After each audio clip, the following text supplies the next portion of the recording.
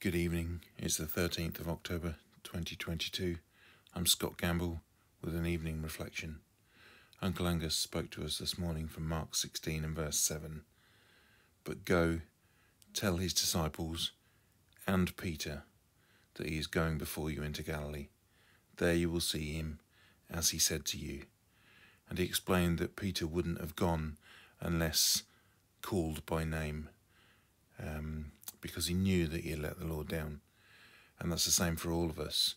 So we're able to say this scripture and insert our name into the place where Peter is named. But go, tell his disciples that he is going before you into Galilee. There you will see him as he said to you. So in my case, I can I can insert my name, Scott.